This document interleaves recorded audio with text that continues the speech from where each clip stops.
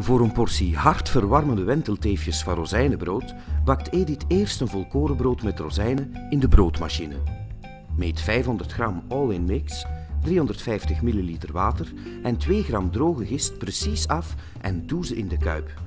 Start het programma voor rozijnenbrood. Weeg ondertussen 200 gram donkere rozijnen af en besprenkel ze met water. Voeg bij het geluidssignaal de rozijnen toe.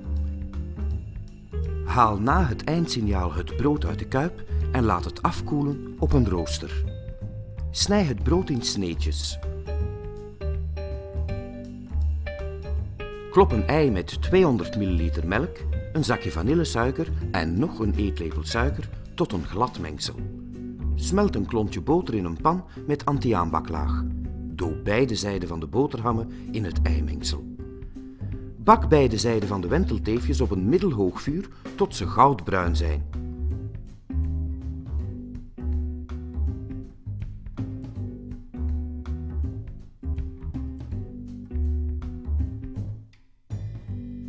Snijd de wentelteefjes in drie hoeken en bestrijk ze met verse geitenkaas en honing. Versier eventueel met verse rozemarijn. Nog meer inspiratie vind je in de bakafdeling van je AVV-winkel. Of bekijk bakrecepten speciaal op jouw maat op de AVV-website of op onze Facebookpagina. Succes gegarandeerd!